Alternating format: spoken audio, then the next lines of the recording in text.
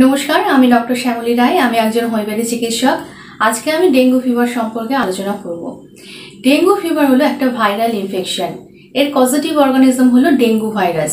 এবং ডেঙ্গু ভাইরাসের চারটে সেরোটাইপ রয়েছে, সেগুলি হলো ডিএনভি ওয়ান ডিএনভি টু এরকম থ্রি ফোর এরকম চারটে ভ্যারিয়েন্ট রয়েছে বা সেরোটাইপ রয়েছে।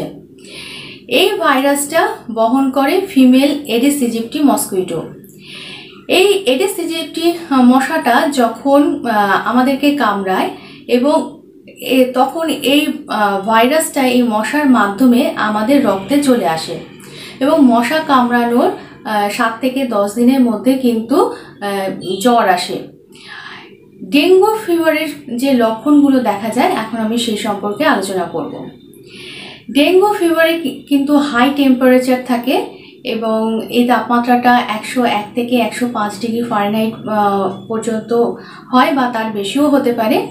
এবং ফিভারে কিন্তু প্রচণ্ড শীত থাকে, প্রচণ্ড কাঁপুনি থাকে এবং সেই সঙ্গে মাথায় তীব্র যন্ত্রণা থাকে এবং চোখে যে আই বল থাকে আই বলের পেছনে প্রচণ্ড ব্যথা থাকে এবং সেই সঙ্গে কোমরে কিন্তু প্রচণ্ড ব্যথা থাকে এবং আমাদের যে লং বোনগুলো রয়েছে, অর্থাৎ হাতে যে হিউমারাস রেডিয়াস এটা রয়েছে, পায়ে যে ফিমার টিবিয়া এছাড়া ফ্যালেঞ্জেসের যে, এই যে আমাদের আঙুলে যে হাড়গুলো রয়েছে এগুলো কিন্তু প্রচণ্ড ব্যথা হয়।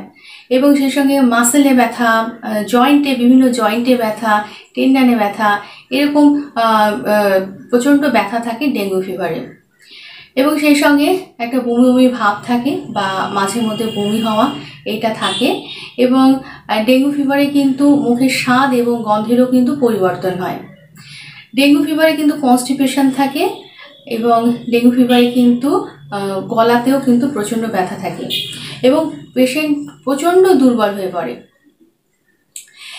ডেঙ্গু ফিভারে কিন্তু র্যাশ থাকে এবং এই র্যাশটা কিন্তু পাঁচ থেকে ছয় দিনের মধ্যে এই র্যাশটা আসে। এই র্যাশটা প্রথমে হাতের চামড়া এবং পায়ের চামড়ায় আসে, এরপর কিন্তু এটা সারা শরীরে ছড়িয়ে পড়ে।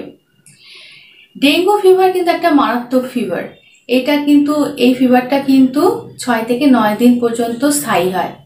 এবং এই সময়ের মধ্যে অবশ্যই চিকিৎসার প্রয়োজন নালে কিন্তু ডেঙ্গু মারাত্মক আকার ধারণ করে। ডেঙ্গু মারাত্মক হয়ে গেলে পেটে প্রচণ্ড ব্যথা হয় অনবরত বমি হতে থাকে এবং স্টুল ইউরিনের মাধ্যমে ব্লাড বের হয়, দাঁতের মাড়ি থেকে রক্ত আসে নাক থেকে রক্ত বের হয় এবং চামড়ার নিচে রক্ত জমাট বাঁধে দেখা যায়। ডেঙ্গু মারাত্মক হয়ে গেলে যেহেতু ডেঙ্গু ফিভারে প্লেটলেট কাউন্ট কমতে থাকে এবং এটা সাংঘাতিক কমে যাওয়ার কারণে এই এইগুলো কিন্তু হতে থাকে। এই জন্য ডেঙ্গু ফিভার কিন্তু অবশ্যই চিকিৎসার প্রয়োজন। নাহলে কিন্তু এটা প্রাণঘাতীয় হতে পারে। ডেঙ্গু ফিভারের হোমিওপ্যাথিতে কি চিকিৎসা করা হয়? কীরকমভাবে চিকিৎসা করা হয়? আমি পরবর্তী ভিডিওতে সেই সম্পর্কে আলোচনা করব। আজকে আলোচনা এই পর্যন্ত। সবাই ভালো থাকুন, সুস্থ থাকুন এবং ভিডিওটি দেখার জন্য সবাইকে অসংখ্য ধন্যবাদ।